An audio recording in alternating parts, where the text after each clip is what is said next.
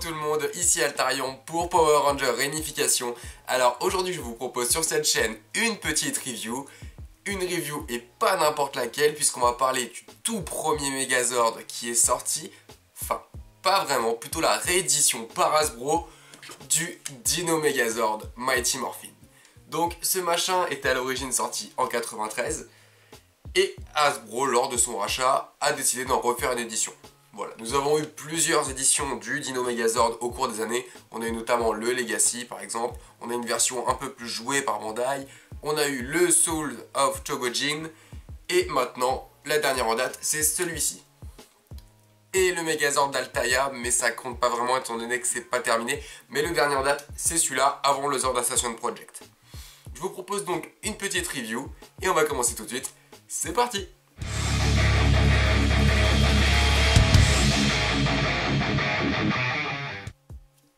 Alors, avant de commencer vraiment la review, je vais faire une petite intro pour vous expliquer un petit peu comment s'est vendu le Megazord. Alors ce Megazord, contrairement à beaucoup, n'était pas, vendu en un seul pack. Il a été vendu en trois packs séparément. Donc vous aviez un premier pack contenant le Tyrannosaure et l'épée, un pack contenant le Triceratops et le Smilodon, et un comportant le Pterodactyle et le Mastodonte. Voilà, on va inverser pour mieux s'y repérer.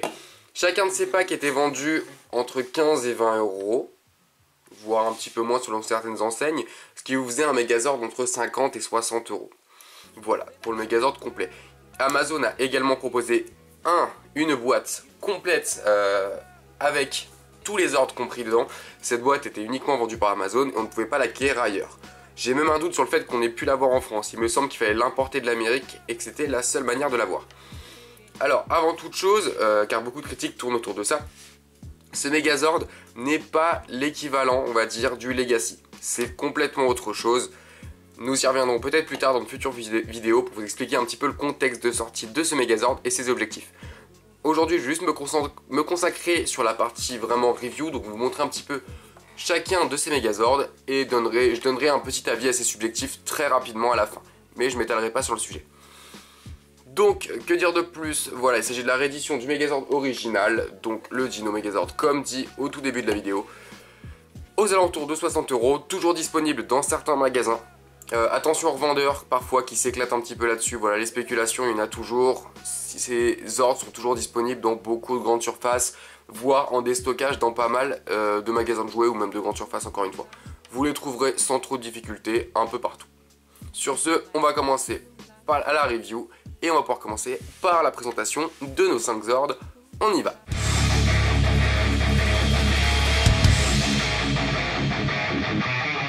Alors, donc, comme dit précédemment, ce Megazord est composé de 5 Zords.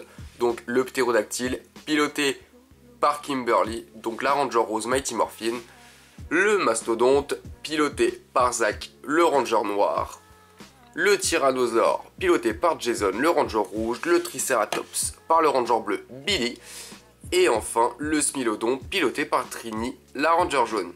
Nous avons également l'épée laser qui est donc vendue avec et qui ne s'assemble sur aucun Megazord, mais seulement qui servira d'épée pour le Zord final. Eh bien, alors commençons par le plus à gauche, le Ptérodactyle. Nous allons commencer par le premier pack, donc Ptérodactyle Mastodonte. Le ptérodactyle, euh, il est assez cool. Il a une bonne ressemblance avec l'original. Au niveau du design, on est assez rapide. Euh, déjà, il y a quelques stickers, mais pas... Enfin, voilà. Pour les parties un peu complexes, c'est du sticker et non de la peinture, à mon grand regret. Euh, on peut voir par contre sur la tête, voilà, là on a de la peinture, tout là on a de la peinture, mais là ce sont des stickers. Je ne suis pas un grand fan des stickers en général, je préfère quand les figurines sont peintes après voilà, ce sont des figurines qui coûtent assez peu cher. Niveau du plastique, euh, beaucoup ne l'aiment pas. Personnellement, il ne me dérange pas. C'est un plastique assez mou, assez léger. Hein. C'est pas du plastique de très grande qualité, mais il me gêne pas plus que ça, étrangement. Euh, je, je, dirais même que je l'apprécie presque. Parce qu'il est léger, pas trop encombrant. Et au niveau des clips, on est plutôt pas mal. Niveau solidité de chacun des ordres, celui-là, voilà, il est assez stable. On peut le plier un petit peu. Sur les articulations, nous avons seulement les deux petites ailes, voilà. Et la tête, bien sûr. Rien de plus. Les deux pattes qui se, décrocheront pour aller à l'arrière du Megazord, mais nous le verrons plus tard. Vous pouvez, si vous voulez, euh, vous y connaissez un petit peu en maquette, prendre des feutres noirs donc, et faire des panel line, ce qui s'appelle, c'est-à-dire repasser tous les petits traits qui sont donc incrustés et non peints avec juste un petit coup de feutre noir. Alors, des spécifiques pour les panel line, bien sûr. Vous pouvez également repasser tout à l'intérieur, sur les ailes et bien sûr sur les dents. Ça vous donnera un effet, bien plus sympa sur le Megazord qui est très simple à faire. Je ne l'ai pas fait personnellement parce que j'ai eu, eu la flemme, voilà, ça fait longtemps, très longtemps que je le dis. Comme d'autres choses que je me dis sur ce Megazord mais que je n'ai jamais fait. Euh, ouais, c'est un peu un Megazord qu'il faut finir soi-même, hein, vous le découvrirez au fur et à mesure. Alors, on va ensuite passer au Mastodonte, donc qui est pour moi le meilleur des 5 Zords, car le plus gros, le plus lourd. Euh, l'un des points vraiment positifs déjà, bah, c'est sa masse, voilà, il est, assez plein, contrairement aux autres qui sont un peu creux, un peu vides. Il, est, il fait assez différent, il est de meilleure qualité que tous les autres. Au niveau de la tête, euh, quelque chose de très malin qu'ils ont fait, c'est de mettre sur un petit pivot. Donc ça veut dire que la tête bouge. Ça, c'est très très cool. Au niveau des peintures, il n'y en a pas. Du full sticker sur celui-là par contre. Donc les stickers pour les épaules, pour les yeux et le dessus de la tête. J'en suis pas très fan, mais bon. La trompe ne bouge pas. Voilà. Il y a... Après c'est un plastique mou, bien sûr, mais il n'y a pas d'articulation. Les défenses non plus. Euh, au niveau des peintures comparé à l'original où la tête est noire et non grise, ce qui est très bizarre. J'ai pas trop compris ce choix, mais bon après pourquoi pas. Petit défaut selon moi, ce sont les pattes qui se décrochent. Euh, pareil, pourquoi ils ont fait ça, j'en sais rien du tout. C'était pas bien malin. Donc, et comme les panels line, depuis que j'ai acheté ce Zord il y a à peu près un an, je me dis que je mettrais un point de colle, mais je l'ai toujours pas fait. Je le ferai un jour, c'est sûr, mais pas encore. Voilà, pas grand chose à dire de plus. Le design est cool, bien qu'original. On va passer au pack suivant, qui est le pack comportant seulement le tyrannosaure avec l'épée. Alors le tyrannosaure, euh, j'en suis pas fan. Alors on le reconnaît très bien, mais par rapport à la série, il a pas du tout la même tête. C'est un peu bizarre, les yeux sont assez petits. Et plein de choses changent. Donc pareil, on est en full sticker. Hein.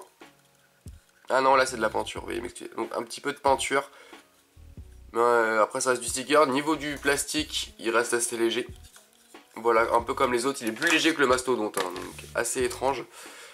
Euh, articulation, les pattes tournent. Ça, c'est le gros avantage de ce Megazord, c'est les articulations qui sont très cool, car il y en a plusieurs. Bien qu'elles comportent des défauts, mais on y reviendra. On reconnaît très bien le tyrannosaure. Euh, alors, le truc qui me déçoit un petit peu, c'est ça. C'est que la queue est complètement creuse. Alors, euh, voilà, ça devait être pour économiser du plastique. Ce Zord est une grosse économie. de la part d'Asbro et un test, c'est assez particulier. Je pense que ce Zord n'est pas sorti pour être euh, vraiment vendu, mais plutôt pour euh, tester les consommateurs, voir ce qu'on va acheter et ce qu'on veut acheter. De même, la queue est censée se clipser juste ici. Alors elle ne se clipse pas du tout. Et je pensais que c'était un défaut de fabrication du mien, mais avec les personnes avec lesquelles j'ai discuté et les reviews que j'ai vues, bah, chez personne ça se clipse en fait. Ça, ça se pose, ça s'enfonce un petit peu, mais c'est très étrange. Euh, les petites pattes du tyrannosaure bougent un peu forcément. La gueule peut s'ouvrir. Alors ça, ça paraît rien, mais ils auraient pu s'en dispenser. Hein, la gueule du tyrannosaure n'est pas, n'est pas indispensable pour construire le Megazord. Et sinon, rien de bien plus euh, à dire sur ce Zord. On en a fait le tour. Et on va ensuite passer à, selon moi, le défaut. Enfin, les gros défauts, pas que, hein, mais niveau des Zords simplement, et donc pas du Megazord. Le troisième pack, euh, c'est pas terrible, terrible. Alors, nous avons déjà le Triceratops. Alors, déjà, bah, c'est juste un bloc, quoi. Il n'y a pas d'articulation et il n'y a même pas de roulette. Moi, je comprends pas. En 93, les ordres étaient sur roulette. Et là, il ne l'est pas. Donc, euh, voilà. Ça roule pas, ça queen. Niveau de la queue, elle comme sur le méga d'origine, là, ça ne pivote pas. Donc voilà, ça c'est censé se déployer un petit peu et être une partie un peu métallisée, là non. Euh, les cornes ne se décrochent pas, donc elles sont assemblées, ça c'est plutôt bien. C'est l'une des, améliorations qu'ils ont donné. Après voilà, on va sur un petit peu de peinture ici pour les yeux. Et le reste, là c'est du sticker. Et là j'ai un petit doute, euh, mais il me semble que c'est de la peinture. Donc voilà, c'est juste un... On reconnaît le Triceratops, hein, au moins le boulot est fait, mais... Euh, c'est pas fou. On voit tous les trous de vis ici. C'est pas terrible, terrible, terrible. Bref, on va passer au dernier Zord qui est le Smilodon. Alors le Smilodon c'est un peu comme le Triceratops, c'est un peu à l'arrache, sauf que lui il n'y a pas du tout de peinture. C'est du full sticker. Au niveau de l'articulation, bah il n'y en a pas. Les pattes, enfin s'il n'y en a pas. Contrairement à ce qu'il devrait avoir. Donc les pattes ne se plient pas du tout. Les défenses bougent un peu, mais euh, c'est normal, ça sert pour la construction. Tout comme les pattes qui bougent en fait. Tout sur ce Zord, enfin sur la plupart des, des sur les 5, à part le T-Rex où il y a vite fait des petits trucs. Euh, les seules articulations disponibles sont celles qui vont nous servir pour le Megazord. En fait, les Zords sont absolument pas beaux, le Megazord en lui-même rend plutôt bien, on va pas se mentir. Sur la couleur de celui-là, on est très flashy, hein, c'est bizarre. Les autres sont un peu plus sombres quand même. Mais lui, on est vraiment sur du jaune pétant, quoi. La queue bouge un petit peu, mais voilà, parce que ça sert pour la construction. Les pattes sont articulées juste au niveau de ce qui va nous servir pour le Megazord. Donc, rien de bien fou. Euh, je suis pas très fan, hein. c'est du plastique pas terrible, on voit toutes les vis de ce côté. Je suis désolé, cette vidéo est assez pessimiste, je sais que beaucoup ont apprécié, même moi j'apprécie ce Megazord, contrairement à ce qu'on peut croire. Mais je l'apprécie plutôt, voilà, dans le côté, dans le versant négatif de Mighty Morphine, c'est que je l'apprécie parce que j'aime bien la, tête qu'a le Dino Megazord. Mais d'un point de vue objectif, il est pas terrible. Les 5 Zords sont vraiment pas terribles les uns les autres. Je veux pas cracher dessus, mais voilà. Après, on n'est pas sur le Zord Assassin Project, ou ni sur le Altaïa, ni sur celui d'origine, qui même pour moi est mieux que celui-là. Euh, qu'en design, les deux seraient sortis aujourd'hui, j'aurais pris l'autre, pas celui-là. Mais bon, ça reste de la, vie très perso. Essayez de kiffer quand même. Sur ce, j'en ai fini avec les 5 Zords. Voilà, mon bilan est assez mitigé, pas terrible. Mais ça se rattraper un petit peu sur le Megazord, vous allez voir.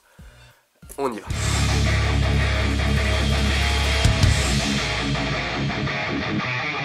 Et nous voilà donc sur la dernière partie de cette review. Donc hormis la conclusion que je ferai juste après. Euh, comment allons-nous procéder? Alors ce Megazord possède deux formations. La formation Tank et la formation Megazord. Dino Megazord. On va commencer par la formation char d'assaut, donc le tank, le dino tank, il a plein, il a plein de noms différents machin. Pourquoi? Parce que c'est tout simplement la première qui apparaît dans la série et étrangement c'est la moins connue des deux, enfin la moins emblématique ce qui est normal vu qu'elle est dans moins d'épisodes, mais elle apparaît bien avant le Megazord dans la série. Euh, contrairement à ce que je me demandais avant de revoir Mighty Morphine. Alors, on va commencer par le Tyrannosaure car c'est la pièce centrale. On va replier les pattes. Alors, les pattes ont tendance à se décrocher, vous verrez. Alors si elles se décrochent, c'est un petit peu galère. Tac. C'est pour moi un défaut. Hop, et on va remonter les deux pattes et mettre à plat. Et voilà, ça s'est décroché. C'est ce que je voulais pas. Ce Megazord, et voilà, on voit que c'est pas de la bonne qualité. Ah, on va remonter la queue. Il va falloir reclipser cette patte. Faites-le doucement. Ah, voilà, c'est remis. Ensuite, une fois que vous avez ça, vous allez prendre le Smilodon petit gradin de sable quoi. On replie les deux défenses. Les deux pattes. Un petit peu comme ça. Les pattes arrière. Et la queue. Et on met tout ça à plat. Hop, baissez bien la tête au maximum. Et ensuite, vous allez pouvoir l'insérer. Alors, faut bien forcer. Hein. On croirait là que c'est bon, mais non, il y a un petit clic pour l'insérer. Le Triceratops, c'est très simple. On replie la queue. Et on va venir l'insérer comme le Smilodon. Ensuite, on va baisser un peu la queue. On va prendre ce machin, le mastodonte. Alors là, il va falloir être très prudent. Commençons par décrocher la tête. Ouvrir les deux côtés. Et alors là, c'est qu'il faut ouvrir ces deux parties. L'ennui, c'est que c'est extrêmement fragile et complètement mal foutu au possible. Alors, il va falloir, hop, voilà, vous prendre ici, alors les premières fois, vous prenez un couteau, un bourron bien sûr. Vous voyez, moi, il y a des petites entailles de couteau. Vous mettez un couteau dessus et vous, faites pivot. Vous ne tirez pas comme ça sur la main, comme c'est indiqué dans la, notice. Vous allez le casser quasiment à coup sûr. Personnellement, j'ai dû racheter deux fois le mastodonte parce que cette pièce était cassée. Et bien sûr, Pickwick Toy disait que c'était de ma faute. Hop, on ouvre l'autre côté. Pareil. Hop, on ne tire pas là, sinon vous allez casser. Vous prenez en dessous Il faut vraiment, faut vraiment y aller. Hein. C'est les pattes qui se décrochent tout le temps. Et voilà, on a ouvert. Une fois que c'est fait, on remonte les épaules. Alors pour cette formation, on va laisser les pattes. Hop, on remonte les épaules. On va remettre ces pièces-là, voilà, vous pouvez mettre des points de colle. N'hésitez pas, ça, sert à rien de les décrocher, donc je sais même pas pourquoi. Et ensuite, on va venir aller mettre ça à l'arrière de notre Megazord. Hop, que je me plante pas de sens. Juste ici. Et on resserre avec les deux pattes. Ça se clipse. Et je l'ai foutu à l'envers.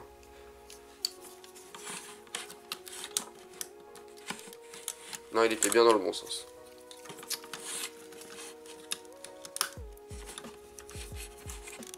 Allez, clipse-toi, bordel. Ok. Alors. Bah, le mien, à force d'être monté, démonté, il s'abîme un petit peu, quoi, le machin. J'ai fait plein de reviews avec ce Megazord, j'en ai fait des, vidéos particulières, donc à force, euh, il s'est mis un petit peu. Alors, une fois qu'on en est là, on prend la tête, on ouvre le petit truc ici, et on vient clipser juste là. faut mettre dans le petit trou. Alors faut bien forcer. Ah. Et voilà. Ensuite, on prend les pattes du ptérodactyle, on les décroche et on va venir les mettre juste ici.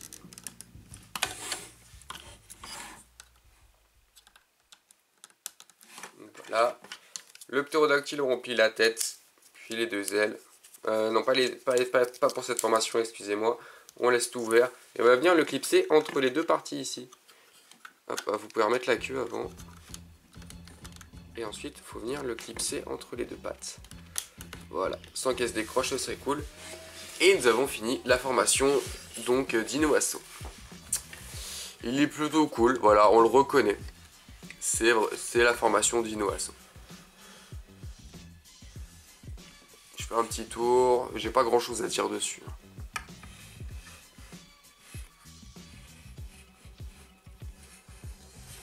Bon, les canons bougent un petit peu, voilà les bras, ça c'est cool, il y a quand même pas mal d'articulation, mais ça en reste. On va ensuite passer à la formation Megazord. Alors, on va décrocher les deux, les deux petits bouchons là. On va relever, abaisser, monter la tête, les pattes, la tête. Et hop, on va venir le mettre debout en fait. Hop, on redresse. Et moi je redresse mon cadrage avec. Là, on descend les bras. On tourne pour obtenir les mains.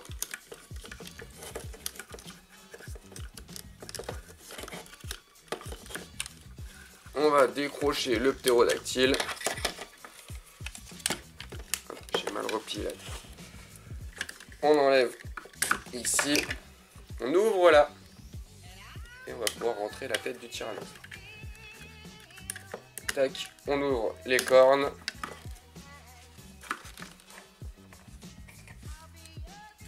On va venir mettre le bouclier dans cette main. Le ptérodactyle, on replie la tête et les deux ailes, ça se chevauche. Et on vient le clipser juste ici. Les deux pieds du ptérodactyle vont venir s'insérer juste là dans les petits trous à l'arrière.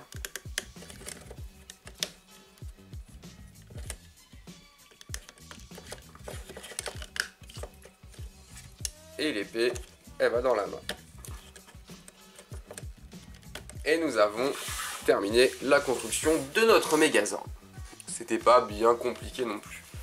Alors, ce Megazord, au niveau des articulations, ça c'est le point positif. Je dirais même quasiment le seul.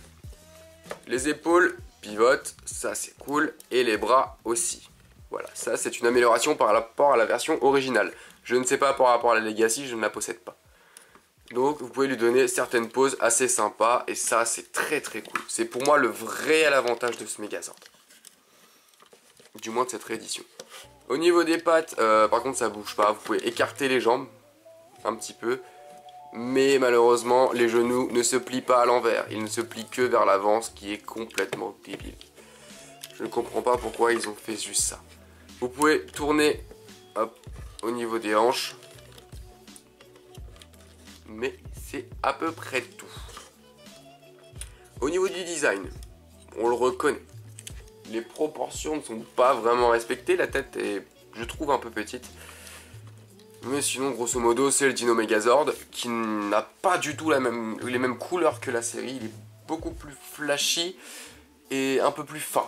Il est moins gros, quoi.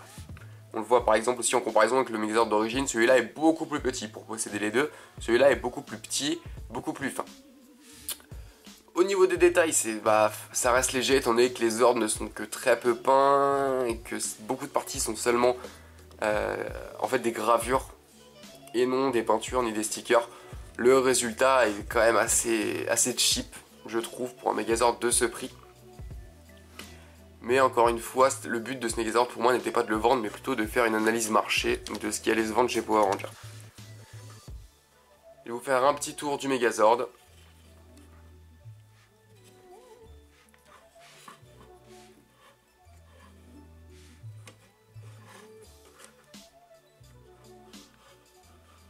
Et donc, voilà, c'est à peu près tout pour ce Megazord. On va pouvoir passer à la conclusion.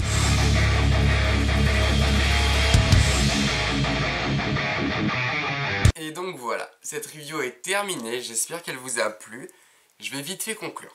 Alors, qu'est-ce que je pense personnellement de ce Megazord? Je vais être totalement subjectif. J'en suis vraiment, vraiment pas fan. Pour moi, il y a beaucoup trop de choses qui ne vont pas.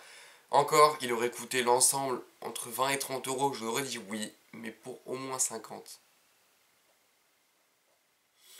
Pour 45 et 60, on va dire, ça vaut pas le coup. Il est beaucoup trop cher pour ce qu'il nous propose. Euh, après, sur une étagère, il a une bonne tête. Malheureusement, pour les enfants, ils ne peuvent pas jouer avec, il est beaucoup trop fragile. Pour les vrais collectionneurs, surtout ceux qui possèdent le Legacy par exemple, ou le Sals ou le Chogojin, vous allez être très très déçus. Après, ça reste du Mighty Morphin. Ça plaît à beaucoup. Attendons le Zord Assassin Project pour avoir un vrai Megazord de qualité ou le Altaïa dès qu'il sera terminé dans 3 ans. Pour celui-là, c'est pas fou. C'est vraiment pas fou. D'ailleurs, je sais même pas si c'est beaucoup vendu.